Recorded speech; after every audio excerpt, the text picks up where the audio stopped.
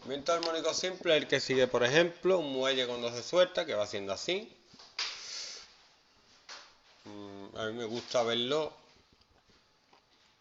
de esta manera.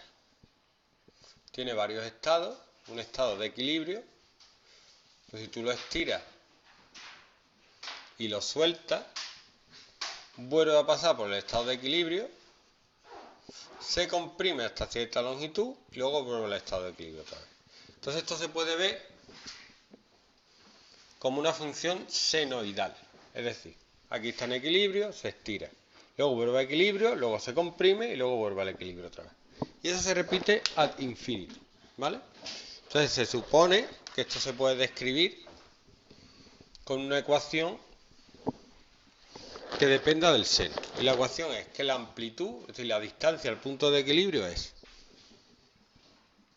la amplitud por el seno de WT más 0, donde esto es el ángulo inicial. ¿Vale? Y W es la velocidad angular. Fórmula, por si no te acuerdas, la velocidad angular es 2pi partido el periodo. Si te da la frecuencia, la velocidad angular es 2pi por la frecuencia. ¿Vale?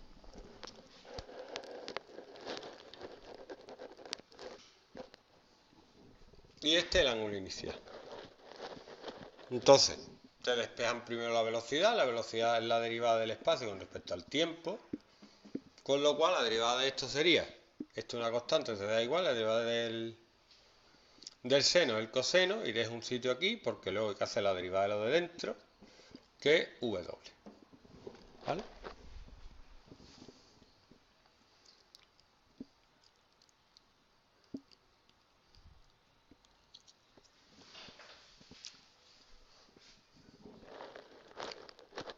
Se puede despejar haciendo ciertas cuentas sin torre sulona, tenéis que aprender esta formulita, que la velocidad es más o menos la velocidad angular por la raíz de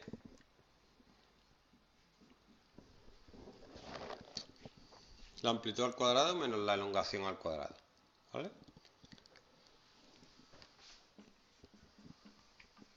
Luego la aceleración es la derivada de la velocidad con respecto al tiempo, que sería la derivada de esto. Por W por la derivada del coseno menos seno de WT más el ángulo inicial por la derivada de, lo de dentro que es W. Así que sería menos W cuadrado. Si nos fijamos, esta expresión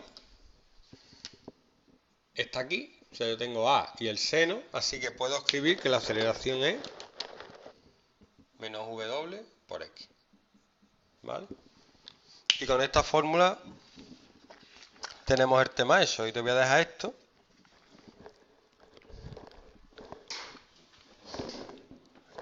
Dos empanes de problema. Completito. Ya está.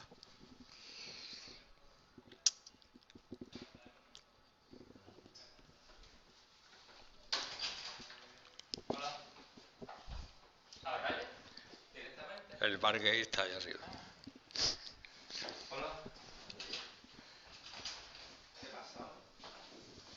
Que no habéis venido. ¿Cómo que qué pasa hoy?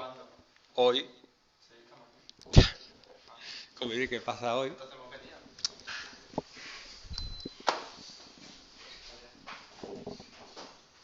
Estamos aquí porque hemos venido.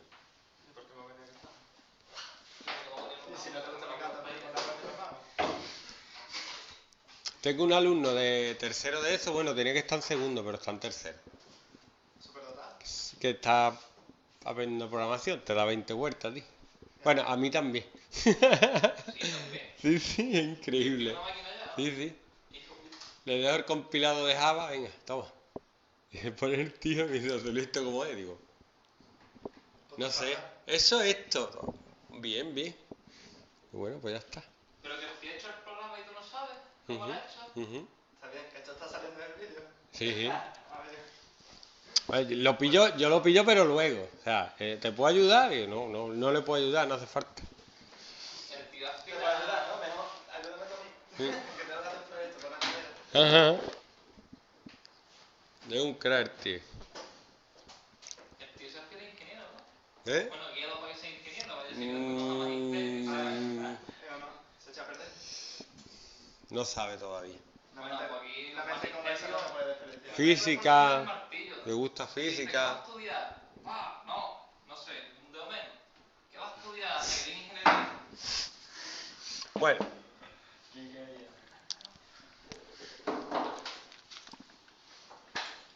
eh, como yo se lo digo, bueno. Aunque Em. no, ¿qué va? Aquí en ingeniería nada. ¿Puede?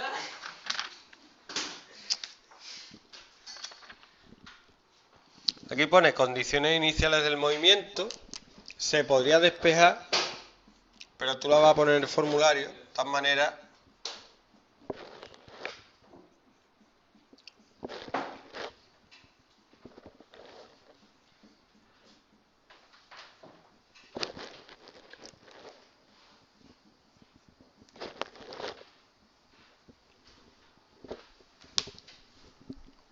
Entonces, un problemilla simple de esto es.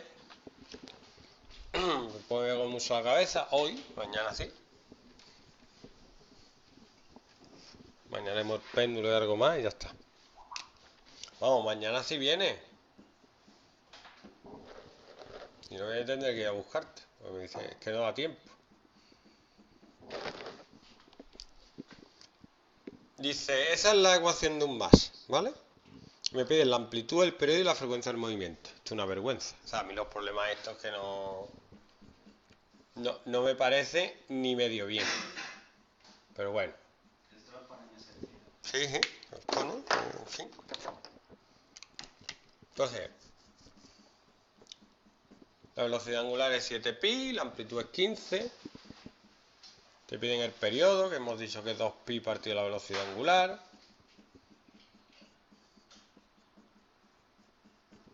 Y la frecuencia es la inversa del periodo. Dice la posición y la velocidad del cuerpo a los 2,5 segundos. ¿Vale? Entonces, la posición a los 2,5 segundos es sustituir por 2,5. ¿Vale? Voy a gritar, ¿ok? La calculadora en radianes, por Dios. Por Dios de mi vida y de mi corazón. ¿Vale? Ha quedado claro, ¿no?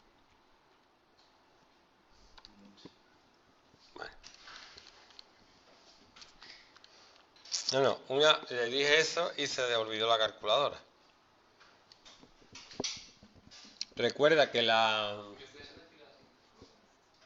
la velocidad es la derivada, que era esto. ¿Vale? Y sustituye el 2,5. Te voy a sacar uno de estos facilitos, que mañana a integrales, a tu tiplén y, Me quedan 6 horas de juego. y da cero.